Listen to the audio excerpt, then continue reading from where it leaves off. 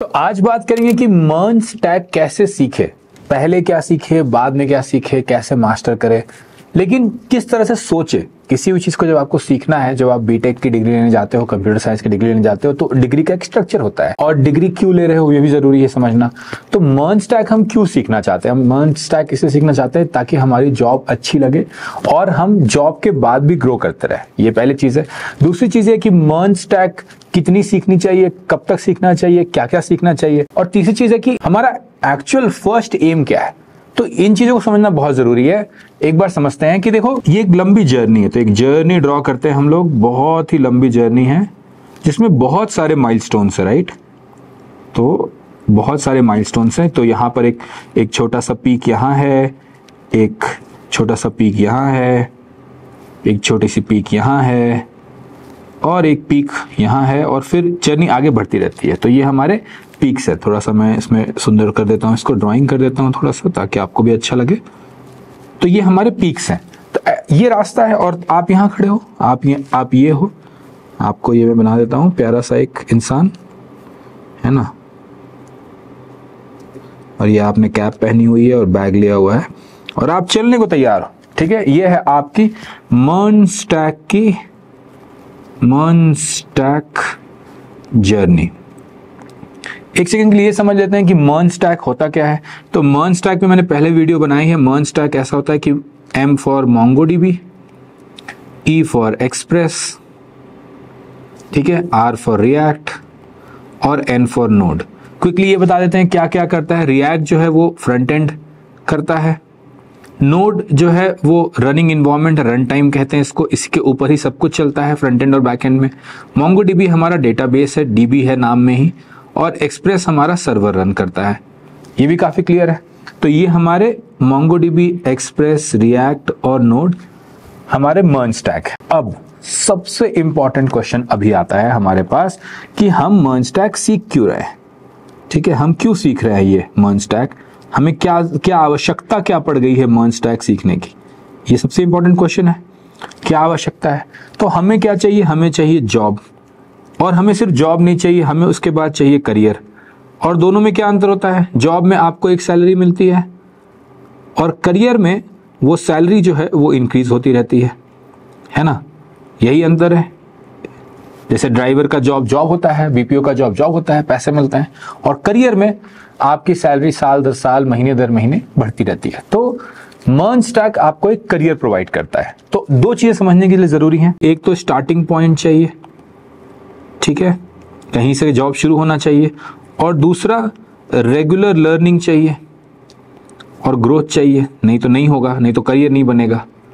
तो ये चीज़ हम समझ जाते जब भी हम किसी रोड मैप को देखें, जब भी हम कोई ट्रेनिंग के स्ट्रक्चर को देखें, हम कुछ सीखने की कोशिश करें तो हमें अपने लिए पहले ये चीज़ समझ ज़रूरी है कि हम कहाँ से शुरू करना चाहते हैं, हम कैसे जाना चाहते हैं। तो अगर मैं बोलूँ, अगर मैं बोलूँ कि मुझे पहली जॉब चाहिए और वो मेरा फ़र्स्ट इंपॉर्टेंट माइलस्टोन है तो मैं कह सकता हूँ कि ये है मेरे जॉब का माइलस्टोन ठीक है? ये है मेरे प्रमोशन का माइलस्टोन क्योंकि देखो, मैं फिर से बता रहा हूँ, ये करियर की बात हो रही है। और ये मेरा हो सकता है स्विच का माइलस्टोन या या बड़ी सैलरी का माइलस्टोन और इस जॉब के माइलस्टोन को पहुँचने के लिए प्रमोशन के माइलस्टोन को पहुँचने के लिए बीच में क्या क्या चीज़ें करनी पड़ती हैं, हम उनके बारे में बात करेंगे।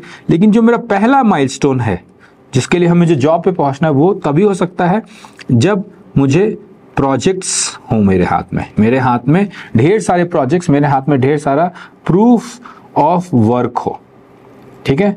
अब जब हम इस तरह से सोचते हैं तो हम ये नहीं सोचते कि हमें क्या क्या सीखना है क्या क्या करना है। ओ माय गॉड कितना बड़ा सिलेबस है।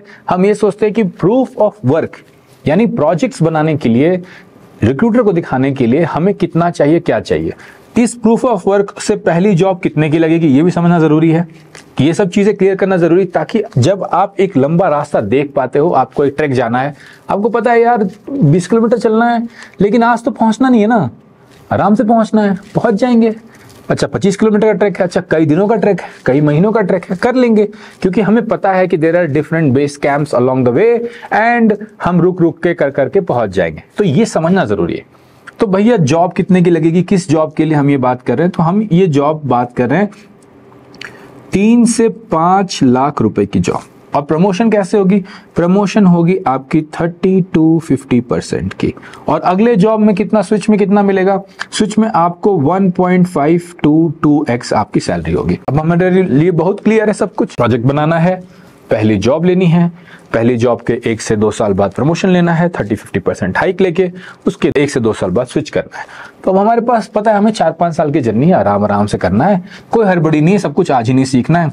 आज अगर हम शुरू कर रहे हैं तो यहाँ से यहाँ का टाइम कुछ हो सकता है। हो सकता है कि ये एट मंथ्स हो हो सकता है कि ये टेन मंथ्स हो हो सकता है कि ट्वेल्व मंथ्स हो हो सकता है कि 16 मंथ्स हो। कोई फ़र्क नहीं पड़ता है। क्यों नहीं पड़ता है? क्योंकि यार पाँच साल की जर्नी में छह महीने से कितना अंतर पड़ता है? हम तो पाँच साल की जर्नी की बात कर रहे हैं। और अगर आप पाँच साल की जर्नी नहीं सोच रहे हो लर्निंग को लेकर ग्रोथ को लेकर करियर को लेकर तो फिर ये वीडियो हेल्पफुल नहीं होगा और कोई भी वीडियो हेल्पफुल नहीं होगा क्योंकि आपको चाहिए झटपट तटपट पैसा और वो एक ही तरह से होता है। वो तो वो मीम आता है ना आ, कुछ दिन में पैसा डबल पैसा ही पैसा होगा। वो सब देखो स्कैम में ही होता है और स्कैम में नहीं बताता हूँ। मुझे जो आता है कि करियर कैसे बनाए वो मैं बताता हूँ आपको। तो अब हमें पता है कि मैं यहाँ हूँ मैं यहाँ, तू कहाँ? है ना? ज़िंदगी है वहाँ। यहाँ हम लोग हैं। और मेरा पहला पड़ाव है, मेरा पहला पड़ाव है प्रोजेक्ट। है ना? मुझे एक प्रोजेक्ट बनाना है ताकि मैं दिखा सकूँ रिक्रूटर को कि भैया, मुझे कुछ आता है। और उसके बाद मेरा दूसरा पड़ाव है, अभी के लिए हम लोग जूम इन कर रहे हैं जर्नी पे। दूसरा पड़ाव क्या है मेरा? जॉब जॉब कितने की? थ्री टू फाइव लाख की। थ्री टू फाइव लाख की। ज़्यादा तो मैं प्रॉमिस करता नहीं हूँ क्योंकि वो रिपीटेबल नहीं होता है। वो बोलना कि सोशल मीडिया पे कि मैं जाके ओपन सोर्स कर लूँ और चार करोड़ का जॉब लग जाएगा, वो बोलना आसान है। करना बहुत मुश्किल है और वो दो चार लोगों का लग भी जाता है। मुझे तो ऐसा रास्ता बताना अच्छा लगता है जहाँ पे दस हज़ार से पचास हज़ार जॉब्स उपलब्ध हों। और अगर आप कर लो तो आपको ना तो बहुत इंग्लिश चाहिए ना तो आपको बहुत ओपन सोर्स के मौके चाहिए, ना तो आपको कोई बहुत सारा लक चाहिए। तो मुझे वैसे रास्ते अच्छे नहीं लगते बताना, जिसमें बहुत सारा लक इन्वॉल्व हो। मुझे ऐसे रास्ते बताना अच्छे लगते हैं, जिसमें बड़े आराम से चीज़ें हो जाती हैं और लॉन्ग टर्म में ग्रोथ हो जाता है। जो मेरा सबसे पहला जर्नी है कि मैं प्रोजेक्ट्स तक पहुंचूं, इसके लिए मुझे क्या चाहिए? रिक्रूटर क्या ढूंढ रहा है? सिंपल सी बात है। तो मर्न स्टैक के एम को अभी आप भूल जाइए एन को अभी आप भूल जाइए ई e को अभी आप भूल जाइए और सिर्फ़ आर को याद रखिए। यही आपको चाहिए। आपको चाहिए रिएक्ट यहाँ से यहाँ तक पहुँचने के लिए मतलब एक बार फिर से दिखाता हूँ सॉरी यहाँ से यहाँ तक पहुँचने के लिए आपको चाहिए रिएक्ट यहाँ तक तो रिएक्ट चाहिए और यहाँ के आगे की जर्नी भी मैं बता देता हूँ। ठीक है? आपको चाहिए रिएक्ट रिएक्ट सीखने के लिए क्या ज़रूरी है? एक बार समझते हैं। रिएक्ट सीखने के लिए ज़रूरी है कि आपको जावा स्क्रिप्ट अच्छे से आए थोड़ा। जावा स्क्रिप्ट सीखने के लिए क्या ज़रूरी है? कि आपको प्रोग्रामिंग अच्छे से आए। और अगर आपको रिएक्ट आता है तो आपको क्या बताना है? आपको बताना है कि मैं रिएक्ट से, मुझे आता नहीं है, मैं इसमें एक प्रोजेक्ट बना सकता हूँ। और मैं सिर्फ़ प्रोजेक्ट नहीं बना सकता हूँ, मैं एक फुल स्टैक प्रोजेक्ट बना सकता हूँ। अब आप बोलोगे कि, अरे भैया, आपने कहा फुल स्टैक प्रोजेक्ट इसका मतलब तो फिर मुझे बैकएंड आना चाहिए। नहीं, यहीं पर अंतर है। एक फुल स्टैक प्रोजेक्ट बनाने के लिए आपको ये आना चाहिए कि अगर ये आपका रिएक्ट एक क्लाइंट पर चल रहा है, ये एक मोबाइल है, गलती से ना समझे कि कुछ और है तो ये एक सर्वर से बात कर सकता है। ये जो सर्वर है, ये एक मॉक सर्वर हो सकता है, ये एक फायरबेस का एपीआई हो सकता है, ये कुछ भी हो सकता है, ठीक है? ये कुछ भी हो सकता है। बस एक एपीआई कॉल कैसे करते हैं ऑथेंटिकेट कैसे करते हैं, ये सब आपको आना चाहिए। कैसे, कहा आना चाहिए? फिर से एक बार बात करते हैं। क्लाइंट साइड सर्वर साइड क्या मैजिक हो रहा है, वो आपको पहले कुछ प्रोजेक्ट्स के लिए और तीन से पाँच लाख के जॉब्स के लिए आने की बहुत ज़रूरत नहीं है। तो आपको क्या आना चाहिए? अब एक बार माइलस्टोन्स ड्रॉ करना शुरू करते हैं इस पे। तो सबसे पहले आपको क्या आना चाहिए? सबसे पहला सबसे पहला माइलस्टोन जो है आपका यहाँ पर, जिसमें आप कहोगे कि अब मुझे आने लगा है, वो है प्रोग्रामिंग प्रोग्रामिंग का मतलब फिर से मैं हर बार कहूँगा कि it is not DSA DSA is not programming it is programming जिसमें आपको लॉजिक समझ में आता हो, आपको इफ़ एल्स आता हो, आपको फॉर लूप आती हो, आपको फ़ंक्शंस लिखने आते हो मोर देन एनफ है। अगर इतना आप कर ले रहे हो तो मोर देन एनफ है।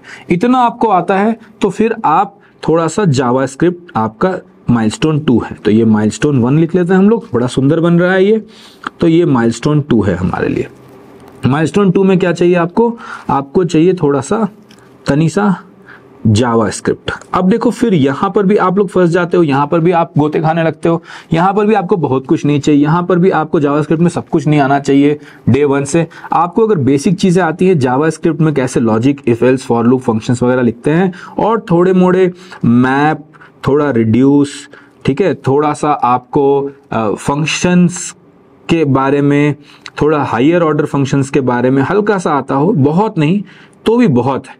और थोड़ा आपको वो इवेंट लूप समझ में आने लगे तो भाई आपको बहुत आ गया है। अगर आपने इतना सीख लिया है तो आपको बहुत ज़्यादा जावास्क्रिप्ट आ रहा है। ये बिल्कुल मत सोचिएगा कि यार मुझे नहीं आता। क्योंकि इतना भी बहुत लोगों को नहीं आता। लोग बोलते हैं कि मैं पढ़ रहा हूँ, सीख रहा हूँ बट बनाते नहीं है तो इसलिए उनको पता नहीं चलता कि उन्हें कितना आता है, कितना नहीं आता है। ठीक है? अब हम यहाँ तक पहुँच गए। तो हमारा तीसरा माइलस्टोन क्या है? हमारा तीसरा माइलस्टोन है कि हम थोड़ा सा थोड़ा सा नहीं, काफ़ी सारा रिएक्ट सीख लें।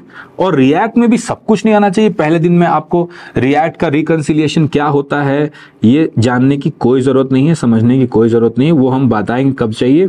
आपको नहीं चाहिए कि री रेंडर कैसे हो रहा है, ये सब आप समझ पाओ। नहीं, आपको क्या चाहिए? स्टेट यूज़ करना। ठीक है? कॉन्टेक्स्ट यूज़ करना। रिड्यूस यूज़ करना। रिड्यूसर्स यूज़ करना बहुत। कोई और लाइब्रेरी की भी अभी आपको ज़रूरत नहीं है। और हाँ एक चीज़ और चाहिए आपको यहाँ पर राउटर यूज़ करना। नहीं तो एप्स नहीं बनेंगे। ठीक है? इसके बीच में एक छोटा सा माइलस्टोन और है यहाँ पर। जावास्क्रिप्ट के बाद ये वाला माइलस्टोन इस माइलस्टोन में आपको चाहिए थोड़ा एचटीएमएल अगेन थोड़ा ही चाहिए एचटीएमएल और सीएसएस इसमें भी आपको भी मास्टर होने की बिल्कुल भी ज़रूरत नहीं है। अगर मास्टर होना चाहोगे तो फिर इधर ही फंस के रह जाओगे मेरे भाई, और फंस के हमें नहीं रहना है। ठीक है? ये हमें दिख रहा है।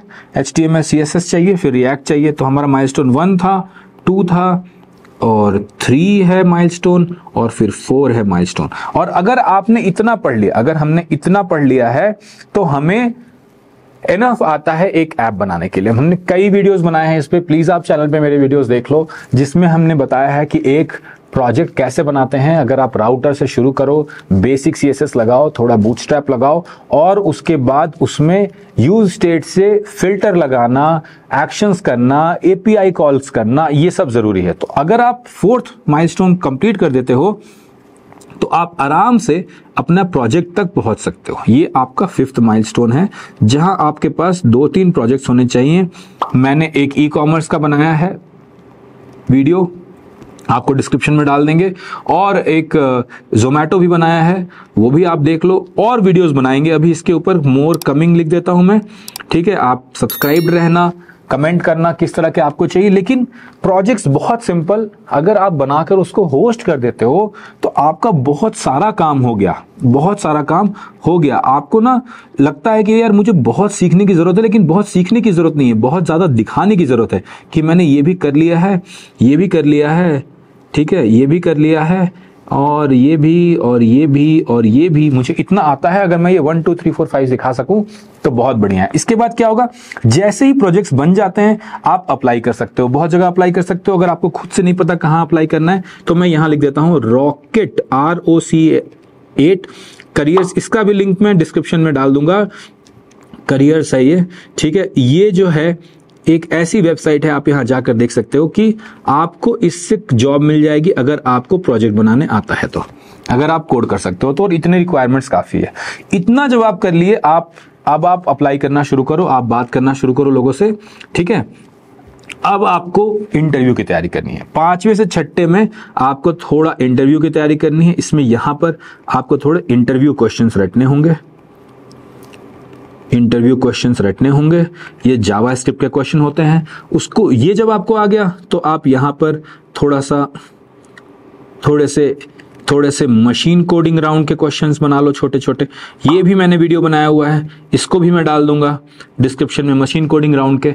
और उसके बाद थोड़े से अगेन रिएक्ट के, कि भैया एसएसजी क्या होता है एस क्या होता है, और ये सब वीडियोज़ भी मैंने बना दिए हैं। ये भी सारे के सारे वीडियोस चैनल के ऊपर हैं, ठीक है? और फिर रिकंसिलिएशन कैसे होता है, यहाँ आपको समझने की ज़रूरत है। सोचो, कितनी दूर है ये चीज़ समझना? और आप पहले ही थ्योरी से शुरू करते हो, आप पहले ही थ्योरी समझना चाहते हो। ये नहीं कि प्रोजेक्ट बनाकर पहले मैंने अपना लक बड़ा कर दिया कि अरे भाई, मेरे लिए भी जॉब ढूंढो। और जब जॉब तो जब ढूंढी जा रही है, तब तक मैं ये तीन चार चीज़ें और कर लिया। तो मैंने पाँच, ये छह ये सातवां माइलस्टोन ये आठवां माइलस्टोन अगर आपने इतना कर लिया तो नौवे माइलस्टोन पे आपकी जॉब लग जाएगी और आपको बहुत अच्छी स्टार्टिंग की जॉब लग जाएगी। तो देखो, ये है फ़र्स्ट जॉब का माइलस्टोन इतना ही है। इसके हर एक पार्ट पर एक वीडियो बना हुआ है, दो वीडियोस बने हुए हैं। आपको चैनल को देखना है, समझना है, मन को थोड़ा शांत करना है और काम पे लगना है। इसके बाद अगर हम ये वाला देखें तो जॉब से प्रमोशन और प्रमोशन से स्विच में कहाँ पे मोंगो सीखेंगे, कहाँ पे एक्सप्रेस सीखेंगे, कहाँ पे नोट सीखेंगे, कहाँ पे और सीएसएस सीखेंगे, कहाँ पे रिएक्ट एडवांस सीखेंगे, वो सब भी बताऊँगा। लेकिन आज हमारे पास समय कम है तो अगले वीडियोस में बताएँगे। इसका पार्ट टू इसका पार्ट थ्री आएगा कि एक्सप्रेस में क्या सीखना है, कब सीखना है, कितना सीखना है, और हम लोग इसी माइलस्टोन पे, इसी ग्राफ पे आगे बढ़ते चलेंगे। इसके लिए तुम्हें शेयर करना लाइक करना कमेंट करना बहुत ज़रूरी है ताकि मुझे मज़ा आए बनाने में। और सब्सक्राइब करना बिल्कुल मत भूलना, क्योंकि अगर बन गया तो देखोगे कैसे।